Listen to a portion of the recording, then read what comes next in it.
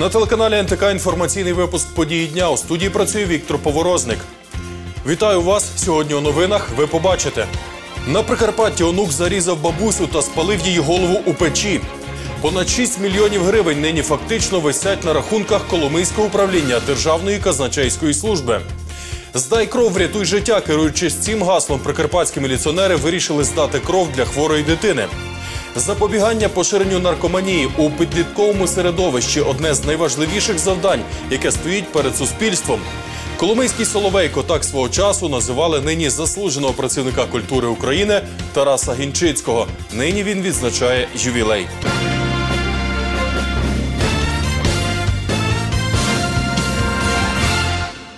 Вбив, а потім відрізав голову та руки і спалив частини тіла у печі. На Івано-Франківщині правоохоронці затримали молодика, який вчинив таке жорстоке вбивство. Побачене на місці події шокувало навіть оперативників з багаторічним досвідом роботи.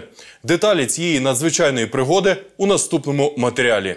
В одному із сіл Тлумацького району сталася надзвичайна пригода, яка радше нагадує кадри із найжорстокішого фільму жахів. Внук зарізав бабусю кількома ударами ножа.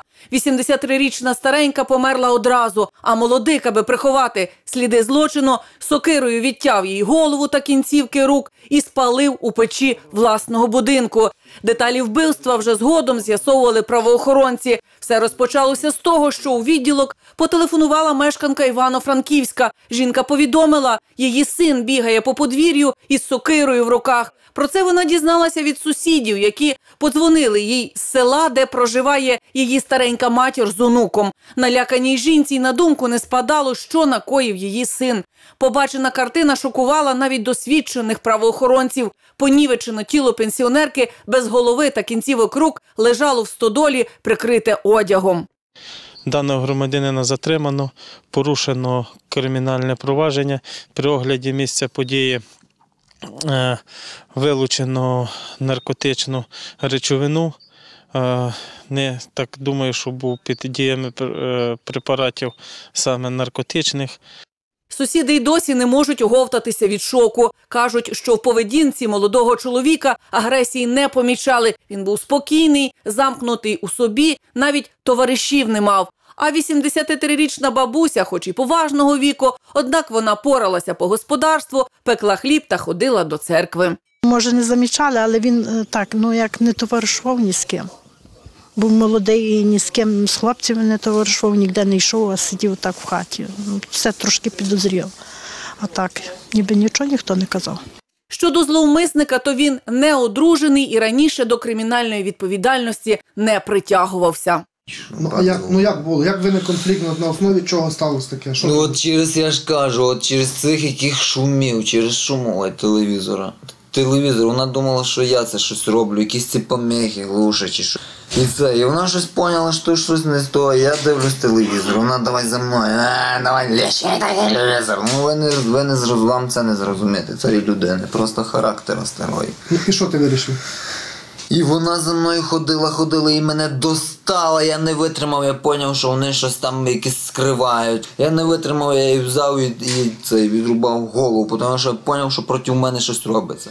А мені зробили якийсь заговір, я випив смердючий, якесь таке, коротше, як почало після того віяти, коротше, бабка мені на, на смерть, напевно. Все, я зрозумів, що я щось випив, все, я не витримав, я поставив сукіру і все.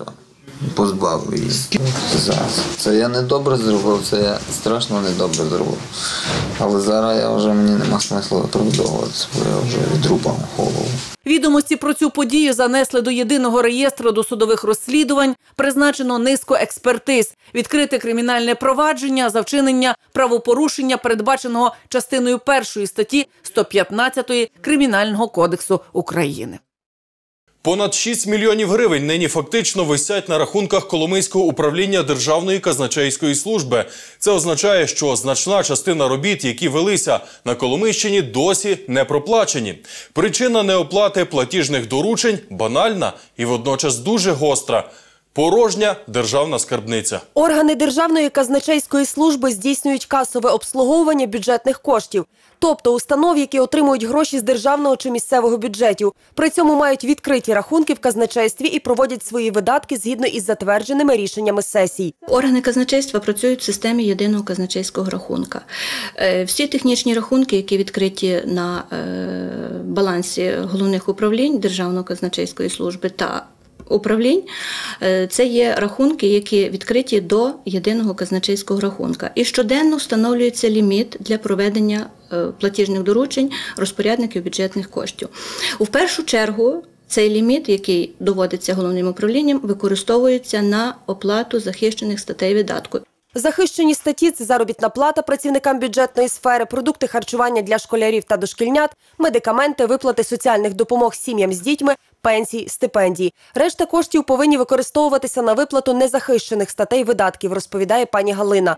Мова йде про придбання канцтоварів, оплати ремонтів, капітальних та поточних робіт. Проте вже більше як півроку із цими видатками є проблема. Їх фактично не фінансують. Почалося десь з серпня місяця того року. Ну, е, на мою думку, це за рахунок того, що відсутні кошти на єдиному казначейському рахунку.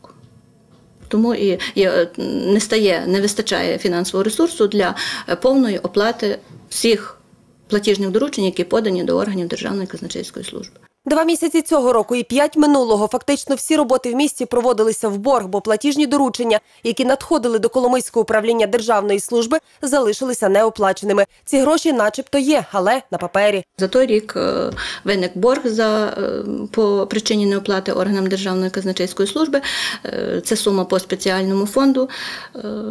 Найбільше по бюджету розвитку там до 2 мільйонів, до 2 мільйонів гривень по місту Коломия. Ну і відповідно по Коломийському району там десь до 4 мільйонів.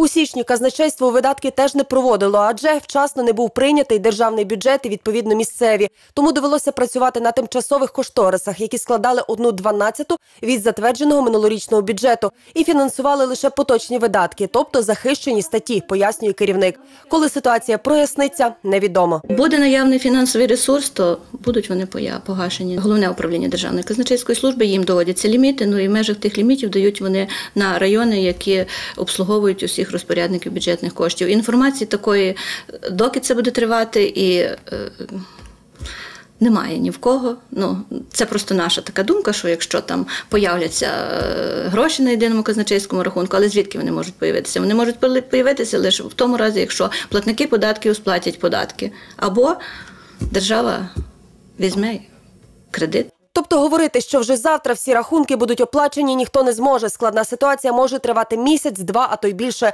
Шкода, що на місцевому рівні ніхто нічого вирішити не може. Тут працюють лише виконавці, яким достеменно невідомо, коли ж припиняться телефонні дзвінки від різних установ та організацій з вимогою провести платежі. На останній сесії Івано-Франківської обласної ради трьох депутатів від партії регіонів вивели із зали. Подія отримала розголос у всій державі. Свою точку зору на інцидент висловив і голова Коломийської районної державної адміністрації, депутат обласної ради чотирьох скликань Михайло Негрич. Його інтерв'ю дивіться одразу після випуску події дня.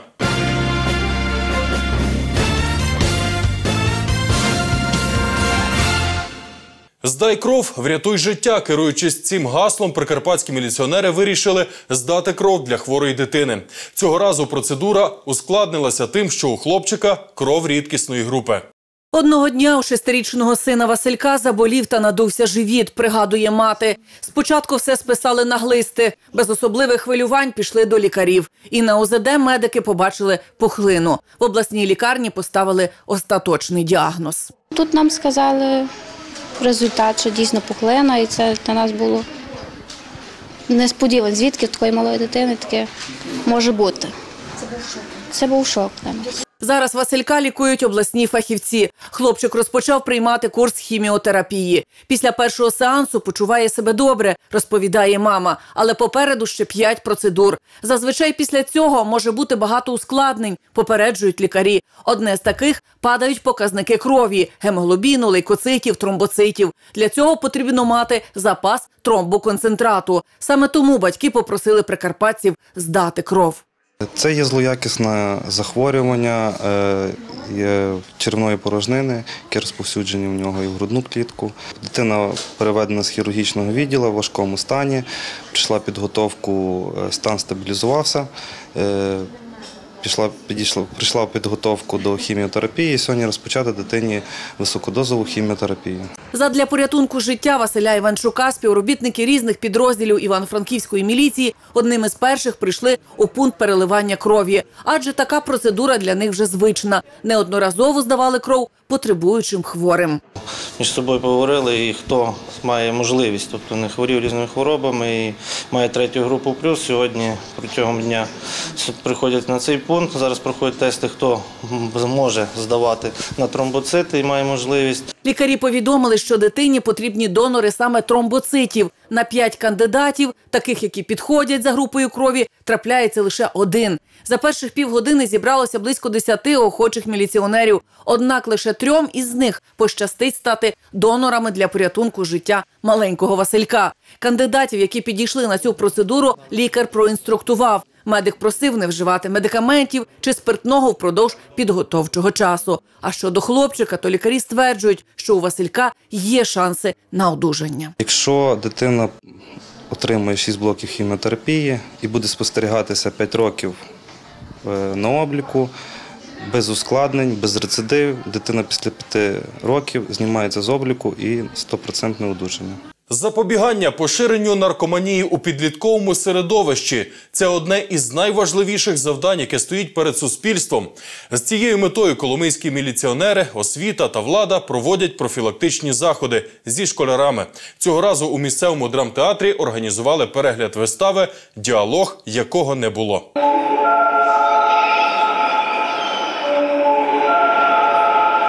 Актори Коломийського драмтеатру представили виставу, яка була лауреатом міжнародного театрального фестивалю у Польщі у 2010 році. Діалог якого не було. Режисер-постановник Володимир Мартищук, актори Богдан Базилевич, Федінчук Володимир, Артур Філімонов. На сцені життя до і після страшного кроку. Медичний шприц, наповнений наркотичним дурманом, поділив життя навпіл, радість кохання, приятельського спілкування, бізнес, улюблена робота. Це у тому першому житті. Безвихідь, біль, самотність і могильний морок. Це його друга половина. Мені шкода, що так сталося.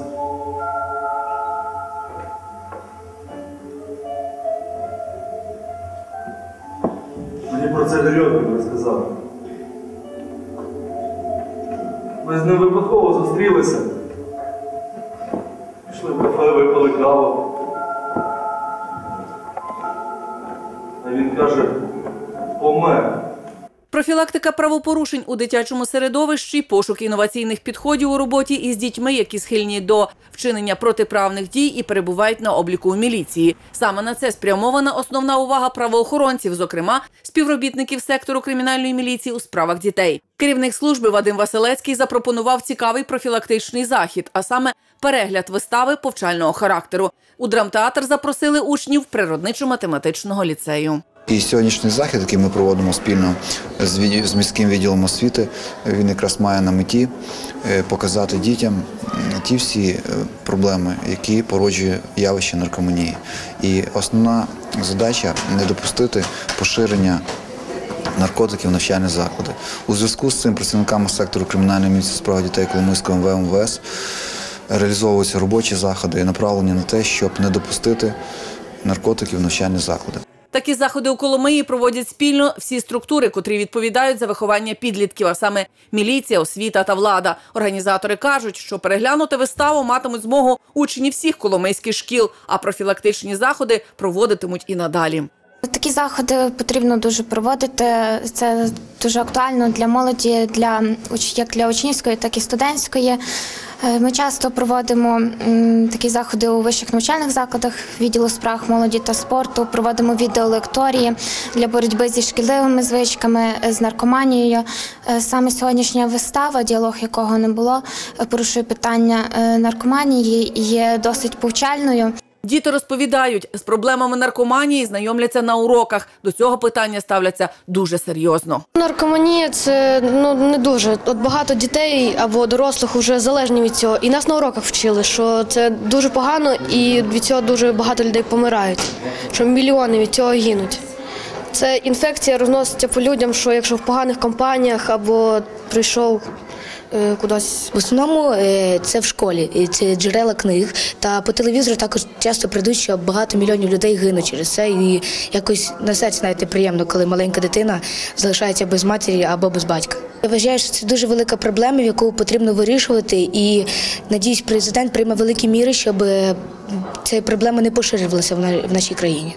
Загалом у Коломиї проблема дитячої наркоманії не така гостра, як можливо у інших містах, кажуть у міліції. На профілактичному обліку у правоохоронців є тільки двоє неповнолітніх. Але у них не поставлено діагноз наркоманія, але просто це є споживачі, які допускають споживання, немедичне споживання наркотичних засобів.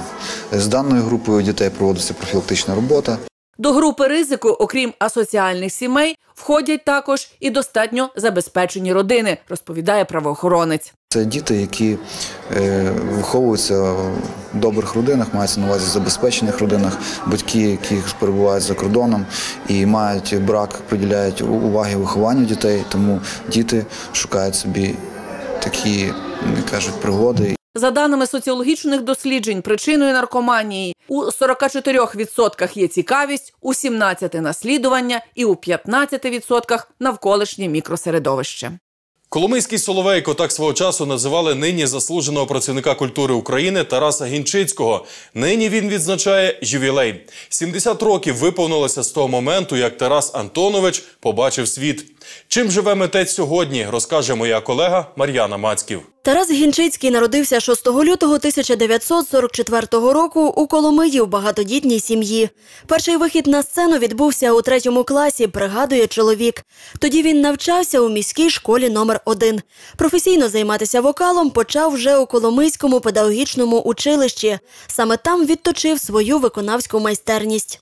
Де на світі я не буду сині гори, не забуду, як згадаю, серце мліє, коломиє, коломиє. Написавши пісню про Коломию, композитор Дмитро Циганков в першу чергу приніс її пану Гінчицькому. У творчому тандемі вони пропрацювали не один рік. Тож саме Тарас Антонович був першим виконавцем у якійсь мірі гімну міста понад прутом. Я завжди, коли співаю, я чую зал. Якщо я залу не чую, я рахую свій виступ неуспішним. А коли зал і людина, яка співає єдине ціле, тоді можна говорити про те, що ти доніс до людей те, що ти хотів донести. У житті мали місце багато злетів та падінь, розповідає співак. Та завжди поруч була дружина Любов. Усіма своїми здобутками Тарас Антонович завдячує їй. Ой, ви очі волошкові, мов троянди пелюстки в устах, стан твій ніжний, смерековий. Ти, любаша моя чарівна, ой ти, жінко моя дорога. Саме з цієї пісні почалось їхнє велике кохання, яке триває і досі. Тоді пан Гінчицький проходив службу в армії, а його майбутня дружина була студенткою. Їхні долі переплелися на спільному вечорі, де виступав молодий співак. То було так, ем, ну знаєте, ну так відчутно, що він звернув увагу зразу е, на мене. Та. І зразу після пісні він запросив мене до танцю. І вже на другий день ми вже зустрілися. Було все, і радість, і горе, і, і ну, всякі, як, так як в кожній сім'ї. Але я щаслива, що ми так прожили таке життя. Відсотків 80 того, що я успішно складався як виконавець, як співак. Звичайно, це заслуга дружини. Після армії Тарас Гінчицький став солістом відомого на Прикарпатті гурту Коломияни. З ним об'їздив майже весь радянський союз. Окрім музики, мала місце у житті чоловіка також педагогіка та навіть політична діяльність. А останні сім років перед виходом на пенсію уже заслужений працівник культури України провів на посаді начальника відділу культури Коломийської міської ради. Перше, е, що я хотів зробити, це внести в культуру щось, таку нову хвилю, змінити репертуар, змінити підхід до цієї роботи, щоб колективи були більш творчі, більш серйозні. Я робив ставку на дітей, на молодь, шукав, шукав нові таланти. І мені то до деякої міри вдалося зробити. Зараз Тарас Антонович зрідка виходить на сцену, каже, що дає дорогу молодим. Проте без роботи чоловік не сидить. Ну а про успіхи Коломийського Соловейка нагадує велика кількість грамот, дипломів та інших поважних відзнак, які зберігаються у домашньому архіві. Та й це не головне. Чоловік щасливий, що живе і має таку гарну велику родину. Для мене головне в житті те, що я сьогодні разом з дружиною дочекав і бачу, що ми е, живемо, що ми прожили недурно. Ми маємо внуків, ми маємо гарних дітей. І ще би головне те, щоб ми були здорові. Щоб ми ще були здорові і ще могли приносити користь. Я хочу, щоб він прожив 100 років, щоб дарував радість своїм дітям, внукам, е, і щоб всі його мрії збулися. 6 лютого Міжнародний день бармена. Не випадково це свято відзначається у День святого Аманда, який вважається покровителем всіх виноробів, рестораторів і, звичайно, барменів. Спочатку День бармена відзначали у Європі, але зараз це свято поступово приживається і в Україні та країнах СНД. Робота цих людей вимагає працьовитості, терпіння і зосередженості. Крім того, хороший бармен має бути відмінним психологом, здатним встановити контакт з будь-яким клієнтом і вгадати, чого конкретна людина хоче саме зараз. Найчастіше люди цієї професії проводять на ногах весь робочий день. Популярність міжнародного дня бармена постійно зростає, оскільки цю професію починають цінувати все більше. У розважальних закладах у цей день зазвичай відбуваються всілякі конкурси на кращий коктейль, змагання барменів у профмайстерності, тематичні забави та розіграші для відвідувачів, хмільні танці та винні вікторини. Крім того, там можна почути історію створення різних вин та інших напоїв і продегустувати їх. На цьому у нас все. Дякуємо вам за увагу і нагадую, що новини телеканалу НТК маєте нагоду дивитись в інтернеті на нашій веб-сторінці www.ntkTV.ua. Завтра ми зустрінемось, як завжди, о 19.15. Хай щастить!